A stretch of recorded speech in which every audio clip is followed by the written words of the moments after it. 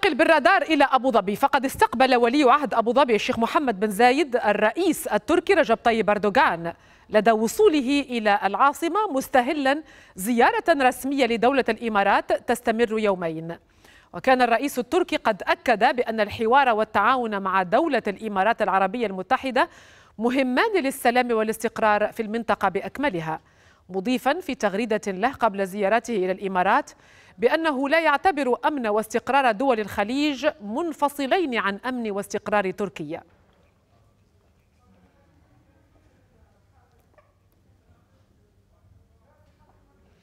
ميسون خالد مراسلتنا في أبو ظبي تابعت مراسم استقبال الرئيس التركي رجب طيب أردوغان من قبل ولي عهد أبو ظبي. الشيخ محمد بن زايد تفضلي ميسون. نعم فضيلة إذا لعل كلمة السر في الصفحة الجديدة التي يفتحها البلدان تركيا ودولة الإمارات هي الحوار والتعاون. هذا الحوار الذي أكد عليه الرئيس التركي قبل بدء زيارته التي ستستغرق يومين سواء إلى العاصمة أبو ظبي أو حتى إلى إمارة دبي. وهو التعاون أيضا الذي تتطلع إليه دولة الإمارات هي التي قام فيها ولي عهد أبو ظبي بزيارة بالفعل في نوفمبر الماضي إلى تركيا بدعوة من الرئيس التركي زيارة شهدت إعادة الزخم للعلاقة الموجودة بالأساس منذ بضعة عقود بين البلدين فيما يتعلق بالجانب الاقتصادي وحتى الاستراتيجي والجيوسياسي. في هذه الأثناء تجري مباحثات خلف أبواب مغلقة في قصر الوطن في العاصمة الإماراتية بين الوفدين التركي والإماراتي حيث يتوقع أن تسفر عن الإعلان عن توقيع المزيد من اتفاقيات التعاون ومذكرات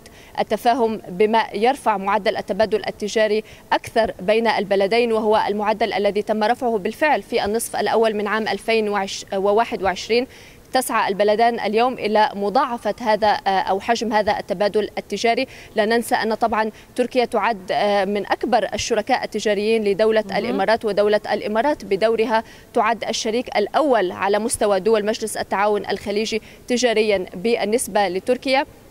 هناك صندوق استثمارات أيضا كان قد أعلن عنه خلال الأشهر القليلة الماضية من الطرف الإماراتي صندوق استثمارات بقيمة 10 مليارات دولار أمريكي في تركيا. نذكر أن الاستثمارات الإماراتية في تركيا كبيرة هناك أكثر من 400 شركة ذات رأس مال إماراتي في تركيا. ويسعى الجانبان إلى زيادة هذه الاستثمارات في نعم. مجالات متعددة من بينها الصحة والطاقة والأمن والتكنولوجيا وغيرها.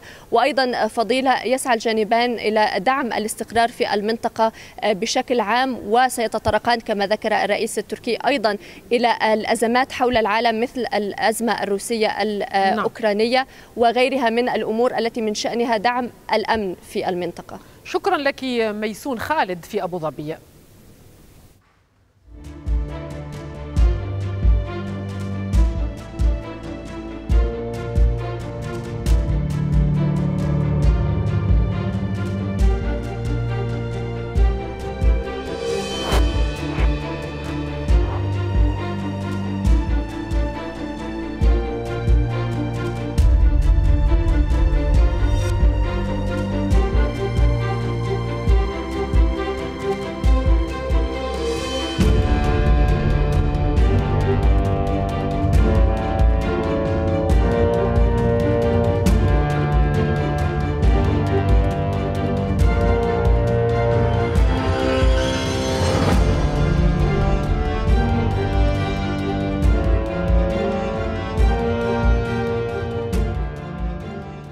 هذا ويشمل التعاون الاقتصادي بين الإمارات وتركيا مجالات عدة من خلال العديد من الاتفاقيات الموقعة بين البلدين.